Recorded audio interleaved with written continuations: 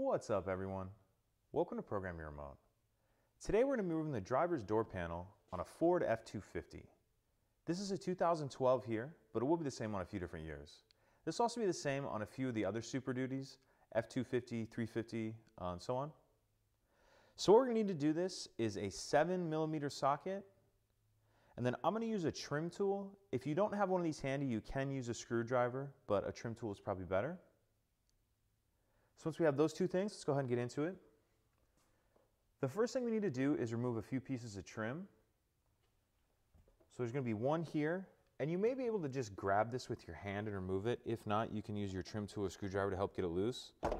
But that'll come off there like that. Then we need to remove this piece and unplug it. So if you get a corner started, and you kind of just work around it with your fingers. There's two connectors here we need to remove. So we'll press that tab, and that'll unplug like that. Press this tab, and that'll unplug. Now we need to remove this piece, and again, you may be able to just do this by hand. If not, you can use your trim tool screwdriver to help get it started.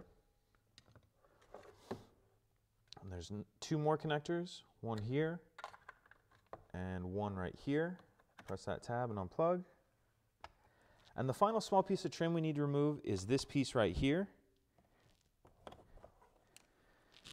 And once we get that off, there's four bolts that we need to remove, and that's going to be those seven millimeter screws. So there's two here, and then there's one up under here, and there's one right here. So I'm going to go ahead and remove those four bolts, and I'll check back in in the next shot. Okay, so we just finished uh, taking those four seven millimeter bolts out we looked at in the previous shot. And once you get those out, this door panel is ready to come off. What you want to do is grab a hold of it and we're kind of just going to go straight up with it. Like that. And you can see these hooks that hold them on, kind of why you have to go straight up. And those are all the way around here. So to put it back on, we're going to reverse everything we just did. There's just a few things that we need to keep in mind here.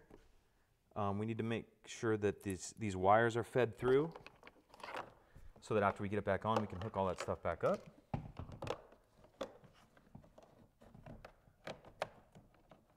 Go ahead and feed those through. And you kind of need to go in at an angle to where you're a little bit up.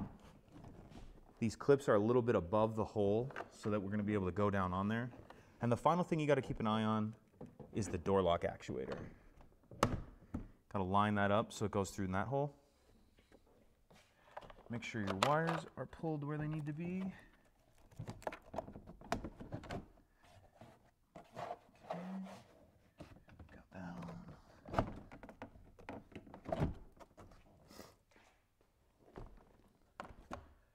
Right, and that's snug down. And a good way to check to make sure you have all your clips where you need to be is to make sure that this is all um, pushed tight against here. You don't have any parts that are poking out.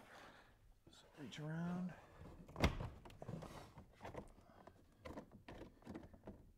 And there is actually one on the bottom I missed here, so I'm gonna lift it up.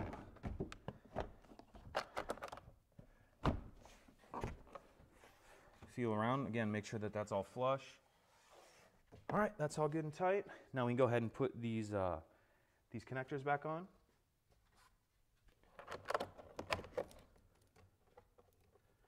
So these will just clip right on. And this will snap into place.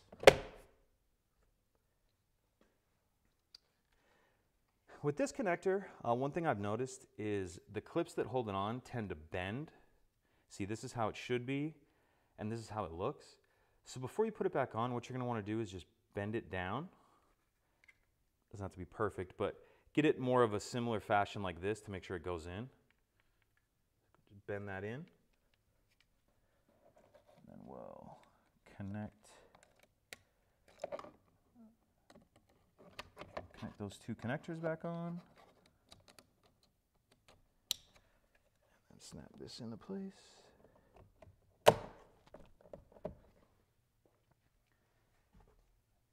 this piece back on.